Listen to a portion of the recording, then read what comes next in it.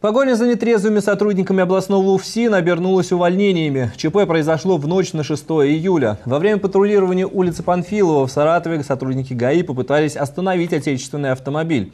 Но водитель не подчинился требованию стражей порядка, чуть не сбив полицейского. Представители ГИБДД пустились в погоню за нарушителем. В результате операции были задержаны водители и несколько пассажиров. Все они – работники службы исполнения наказаний.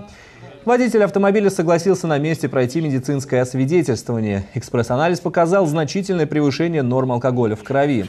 На нарушителя составили протокол, а автомобиль отправили на штрафстоянку. По сообщению пресс-службы регионального УФСИН, провинившиеся сотрудники будут уволены. Стоит отметить, что задержанные утверждали, что алкоголь перед поездкой на автомобиле не употребляли. 0,84 Угу.